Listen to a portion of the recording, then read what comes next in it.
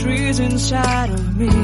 In this desert, I can look at you with love, seeing all that I can learn. Can you stay and I will grow.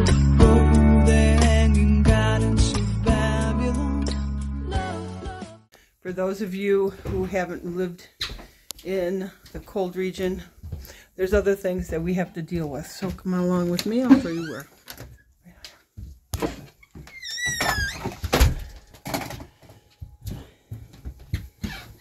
Careful, love. It's uh, it's icy out here.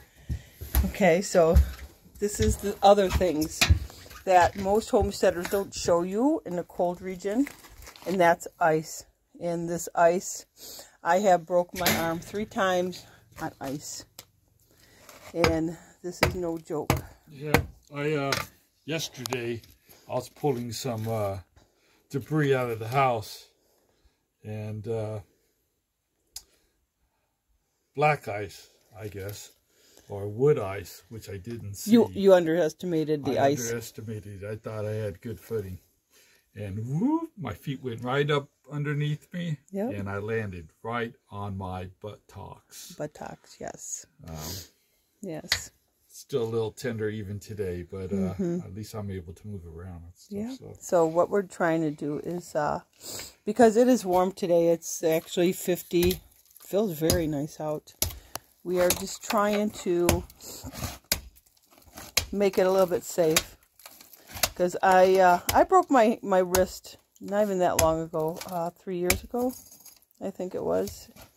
And, um, my, I've, I lost the ability to use my fingers and, uh, that's in my right hand.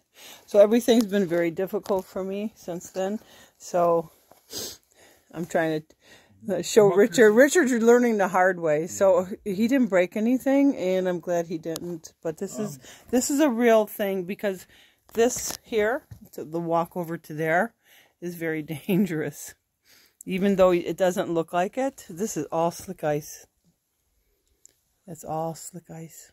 Yep. So So the muckers are great. Uh, yeah, oh, the, but this ice In is the still mud. yeah in the mud. In, In the s- mud. in the ice, or I should In the say ice, snow. but the snow, but on the ice, but on the ice, we need cleats, Yeah. right? This no. Um, so just one of those things we have to deal with on a daily basis here is the uh, Yeah. as the ground starts to thaw. Yeah, we're talking about the permafrost. We have restrictions. We have road restrictions right now because the permafrost is now uh, thawing. Uh, that's another real issue. That means we can't get anything heavy to come in here. So, with that being said, God is good. All the time. Seeing eyes of mine, you see, there are no trees inside of me. In this desert, I can look at you